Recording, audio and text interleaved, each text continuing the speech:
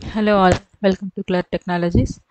Uh, this is a new video series where we can uh, discuss about how to integrate Splunk in our MuleSoft. Okay, so as part of this series, we will be uh, creating three to four video, uh, videos uh, so that you will uh, be get better understanding of Splunk, Splunk and how to integrate it MuleSoft thoroughly. I hope this series will helpful to you. Okay, so as part of this series, this is our agenda. So we will first see what is the Splunk and what is its features and why it is useful. Then uh, how to set up the Splunk in our Windows system. Then we have to send. Uh, actually, uh, Splunk is useful in MuleSoft point of view is to transfer the logs from MuleSoft to the third-party tool Splunk. Instead of uh, having our logs in our MuleSoft side, we are just transferring to the Splunk as a third-party tool. So to do that, we have three different options. We have uh, we, we will see three different uh, scenarios. There is no three options, but three different scenarios. If you want to uh, send the logs from Anypoint Studio logs to our local logs to Splunk, that is also possible. And in this point, we will see how to send on-premise server logs to Splunk. This is the second one, and the third one uh, is how we can send CloudHub logs to Splunk so these are all our important points you have to uh, understand. So we will try to make two to three videos to cover all these topics. Okay? Okay. As part of the first one uh, let's understand what is splunk okay i have captured a couple of uh, points here but usually the splunk is it's just a logging tool or analyzing tool something like that. See splunk is a powerful and versatile software platform designed to analyze monitor and extract insights from machine generated data. So in our day-to-day lives in our uh, day-to-day projects a lot of data is getting generated uh, uh, forget about any apis or any mulesoft tool or any other tool. Uh, once our project is getting executed and uh, one, uh, because everything is related to data. So machine will generate lot of data. A um, lot of log data is getting generated.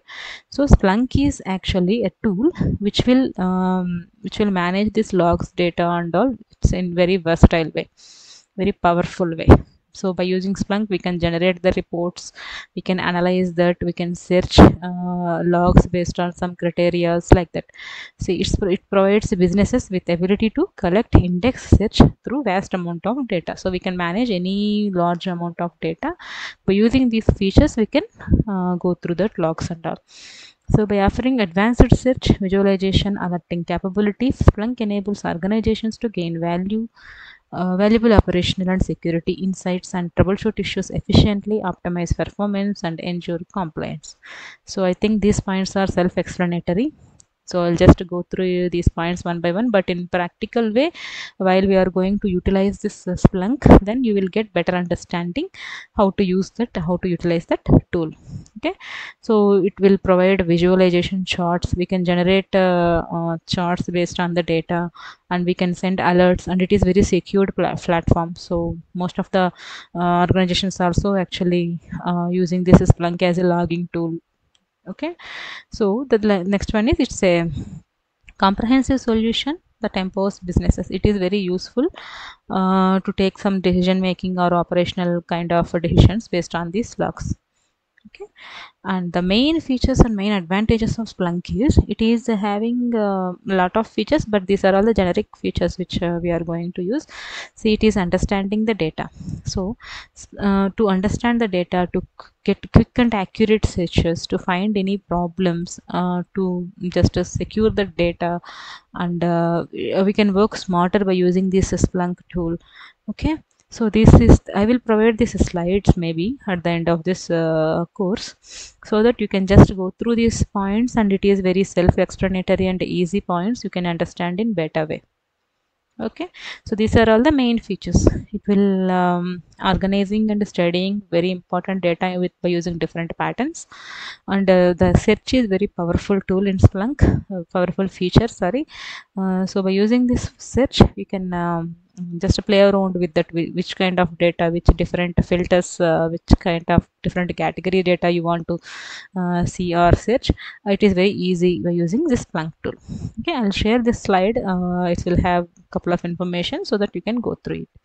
So uh, in this video i think you get better understanding of uh, splunk. It's just a log it's a, uh, third party tool which will manage the logs and all and large amount of data and we can just uh, generate the reports and we can go through the logs we can search it and it in it in it is in a secure way. So this is all the different features of splunk. So now let's see how to install this splunk and how to download it how to do the setup in windows system. Okay? So to do that uh, i'll provide this link also in the description. Okay? You need to just uh, copy this link and uh, click on google or you can just uh, type splunk download also you, it will work. So this is the link uh, where you can download this. Just now go through it. Uh, go to this splunk enterprise enterprise and click on get my free trial. Okay here you have to uh, fill up this form just like the Anypoint Platform account which we are going to do. Okay you need to create an account. It, it didn't require any credit card or something okay? So it is asking for business email but maybe we can give our gmail. Let's see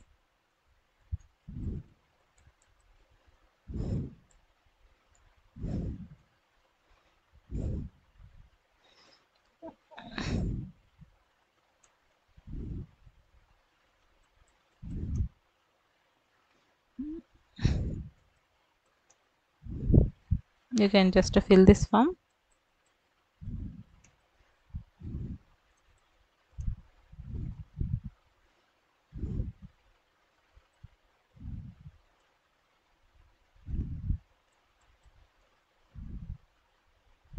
I am just giving some dummy number.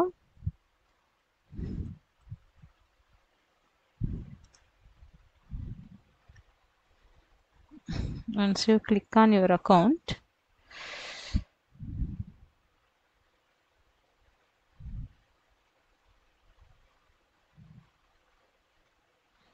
and see this is the latest version 9101 I think now it will yeah it is uh, showing that uh, download version. Based on your operating system you can select that. Mine is Windows 64 bit so I'm just clicking download here. Uh, yeah maybe it will take some time. I will pause the video and I'll just resume once it is uh, downloaded okay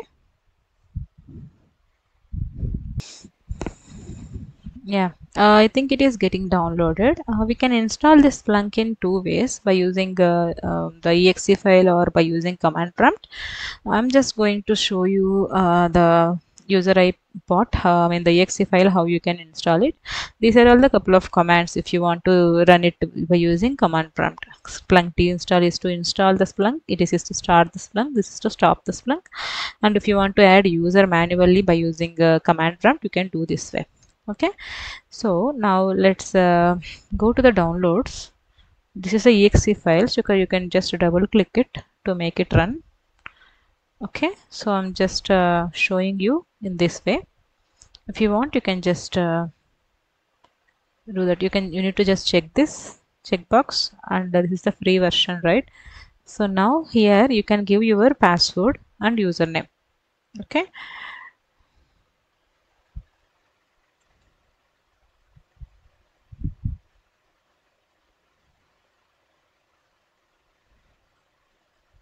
I'm just giving KLART Splunk is my username.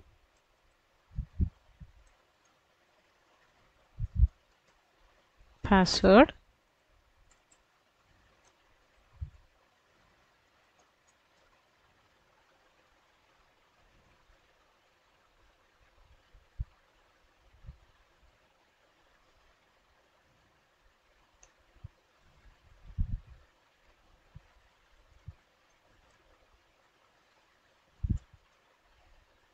Okay I'm just noting down here. Click next. Click on install. It will get installed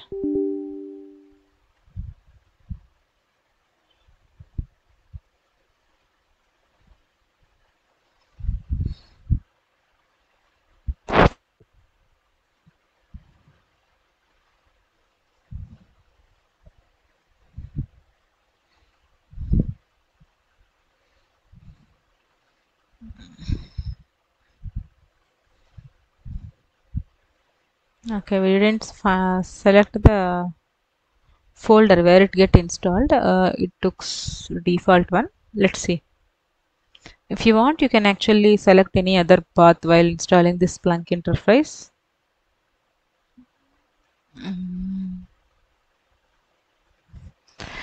It's just an enterprise trial version free version but you can use most of the features once it is getting installed. I will show you uh, all the major features. Mm, let's wait maybe. A couple of minutes. This installation will get completed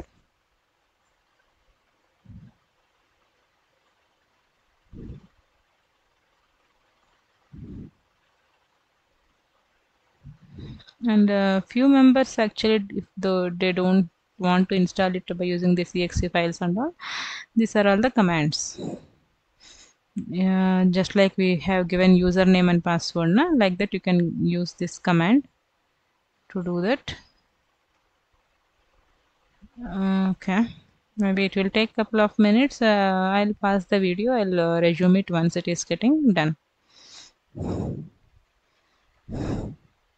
it took five more minutes for me to get this installed. So once that installation is done you will find this screen. Uh, enterprise setup is done. So you need to just click on finish. It will uh, open that browser. Okay. It will launch the browser of Splunk like this and you need to observe here the Splunky is running on port 800 8000 so even uh, this port should be open. By default uh, this port is 8000 okay so uh, you should you need to make sure like while uh, running any http applications in your mule MuleSoft you should not use this port because this port is already running on uh, splunk. So now you can log in with that username password which you have created in the installation step. Okay for me. This is the username and password KLART splunk to this splunk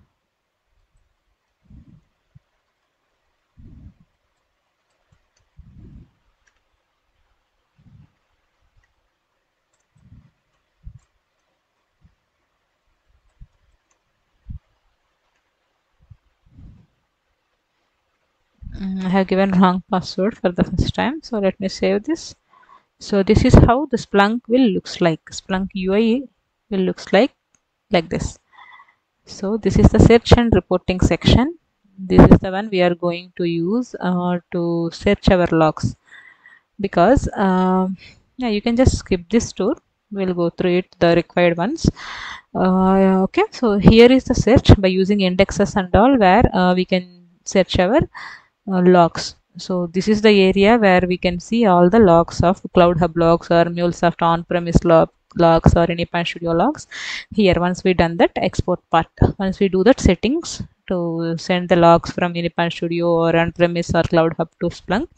We need to do a couple of settings from our end, MuleSoft side. Then once we done that, then once your application is getting tested, all the logs are getting sent to Splunk and we can see the logs here in this area and by using these dashboards we can generate uh, uh, user user design like um, visualization uh, kind of uh, graphs and all. Okay you can generate reports. By using the logs which you are going to do you can create alerts also. These are all the multiple features available in splunk. But in mulesoft point of view we will mostly use this search we will mostly use this search feature and uh, reports feature sometimes. If we need to send any audit logs reports and all then we can use these two features mostly. But these are all the main major features of splunk. In any other projects or uh, um, like a temp uh, in the rare way we can also use these features also. But as of now we need to concentrate on search. Okay this is the port. It should be uh, running in Splunk by default.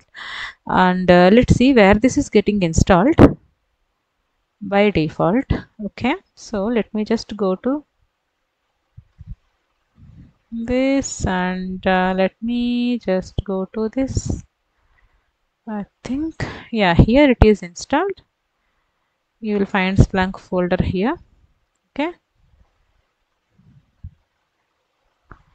I'm just opening it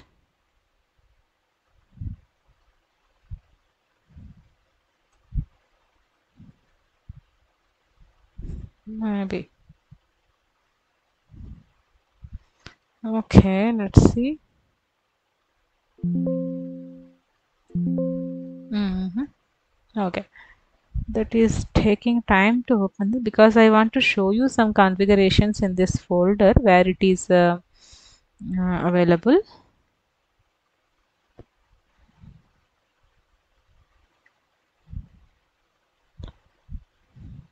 Okay so let's see once this is uh, open let's go through the folder structure. That will help us to understand a little more.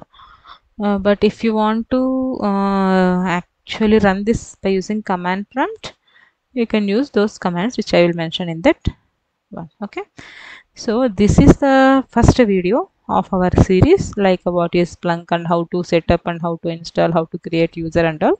So in our next video what we can do we can just create one new project with some couple of logs in our anypoint studio. Then we will try to uh, cover this third topic. Like uh, in anypoint studio also most of the logs will get generated so we can send logs from anypoint studio to splunk first. Let's see how to configure that. Then we can see all the different uh, logs configuration for on-premise and cloud hub. That's it for this video. Thank you. Please subscribe and uh, press the bell icon so that you will get notified when we can upload these new videos. Thank you